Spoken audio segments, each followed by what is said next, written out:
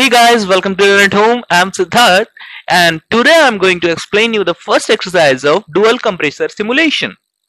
In this simulation, there is a compressor which contains two pumps, pump 1 and pump 2 which will be utilized to maintain the pressure of this pressure tank okay and there are two sensors PE1 and PE2 which will be give you the feedback whatever the pressure is and we can set the preset value or the cutoff value from here by using your mouse pressing this button and you can increase the value and decrease the value. So in this first exercise we are going to utilize just one pump. So just move to our exercise. We are going to understand what we have to do in this exercise. We have to use this one pump to maintain the pressure here. And uh, the preset value will be given from here this pressure sensor this upper blue color block will be shown here. This is the upper limit of pressure. So whenever you give the value from pressing these buttons up and down the value will increase and decrease. So this is the upper limit value. So and uh, whenever we press the start button so first step whenever we press the start button this run LED will glow and pump will start after this pump start, the pressure of tank will increase and whenever the pressure will reach this set value which is 120, the pump must stop. Here you can see the flow rate. This is the pump pressure decreasing flow rate. So whenever the pump is stopped or it is not stopped, this uh, by this flow rate the pressure will decrease. Okay and here you can see the 20 this is the span.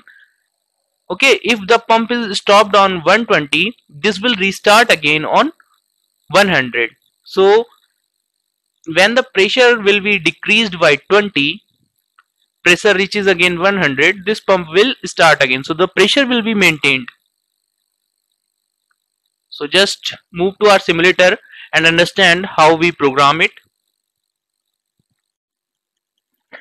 So you can open the simulation from simulation dual compressor simulator. Here you can see this is the dual compressor simulation. So let's start our programming. First we are going to insert the examine if close here and give the start button input to it and I am going to insert a output energize and give the run LED output to it okay? So whenever I press the start button this run LED will glow.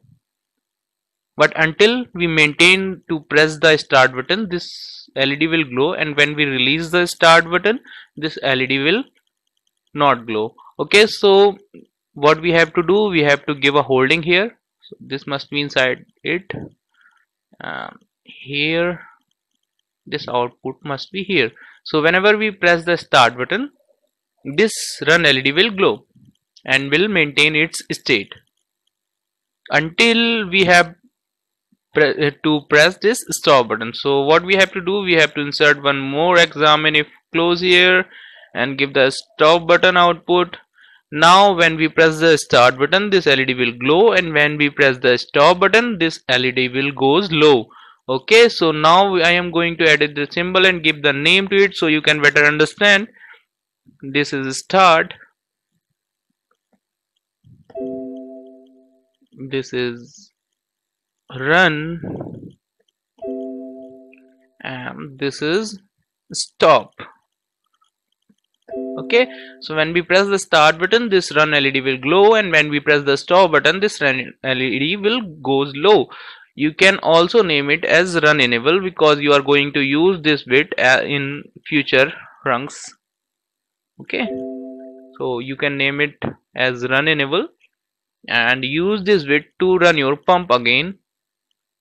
Here is the run bit. Run enable. Now what I'm going to give the output of pump 1 okay I'm going to name it pump 1 but what we have to do here we have to maintain the pressure of this tank with the help of this pressure sensor. So here must be a pressure sensors input which is i colon 1 slash 2 i'm going to name it as pe1 okay. Now you can understand whenever the running level is high and the pressure is between range this pump 1 will run. Otherwise this pump will stop whenever the pressure will reach 120 and uh, will not decrease until it's spawn this well the pump will not start.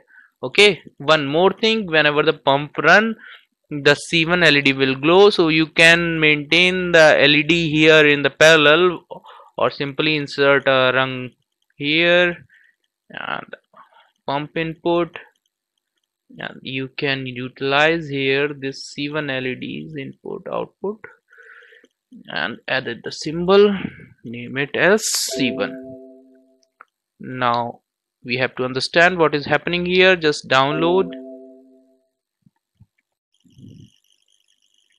Okay. So when we press the start button here you can see the pump is started and the pressure in is increasing but as well as the pressure is decreasing with the help of this flow rate 50% so I am going to decrease it. So the pressure will increase fast. And you can understand what is happening inside here.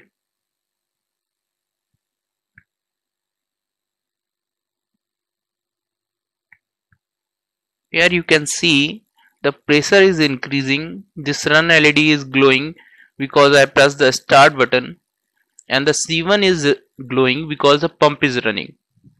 Okay. So whenever the pressure will reach 120 this pump must be start. This C1 LED will stop but the run LED will glow continuously because the process is in working state. It is going to complete 111 112 13 14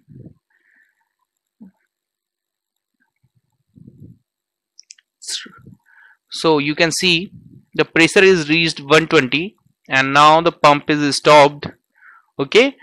Because the input of this pressure sensor is high and here you can see the pump is stopped and the C1 LED is also not glowing but the process is running so we can increase the flow rate. So the pressure will decrease with this flow rate. Here you can see by increasing the flow rate the pressure pressure value is decreasing. So I am going to maintain it 50% so the pressure is decreasing. Now whenever this pressure will decrease to 20 and uh, this pressure reach to 100 this pump must be restart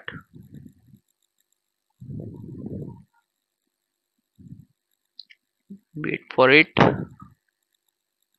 Here you can see the pressure is now reached the pump is restarted again and the value here is C1 is also glowing and this value is increasing. And I am not doing with uh, anything with the flow rate. So the pressure is also decreasing with this flow rate but increasing with the help of pump. So here you can see the pressure is increasing slowly but it, will maintain.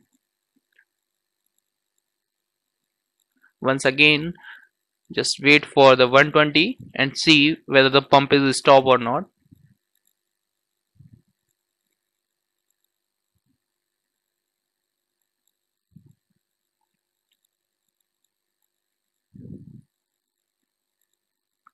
Okay. Now it's reached here you can see pump is stopped. Pressure is decreasing fast because pump is not working. And whenever the pressure reaches 100 the pump will start again. Back to our programming